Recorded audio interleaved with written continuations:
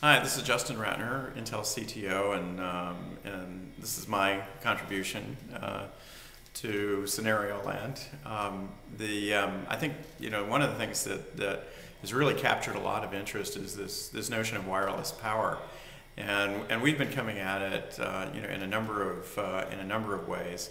Um, our work actually started with this notion of, of scavenging free energy um, you know, free radio energy from, you know, from just the environment, from the ambient, uh, to power all sorts of sensor devices. So uh, they would be in, in energy harvesting mode for some period of time. And uh, once they had enough power to transmit, they, um, you know, they'd send out a short burst of information, uh, let's say, you know, providing some sensor uh, data. Could be, you know, temperature, pressure, could be an image.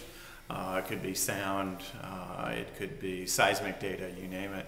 Uh, more recently, we've been looking at injecting energy into the environment uh, by actually transmitting power intentionally into the environment.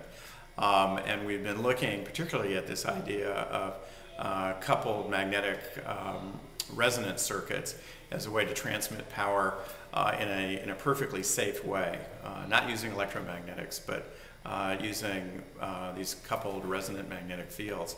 And that's just generated a huge amount of interest, and, and we've gotten um, you know, all sorts of, of emails, uh, and there have been a lot of blog entries with people postulating what they do with wireless power. But uh, it's really, it's really given us uh, sort of new impetus to do the, to do the research, and uh, you know, just this notion of, of you know, having um, computers and cameras and phones that run infinitely uh, has definitely captured everyone's imagination, I think, both at Intel and in the community at large.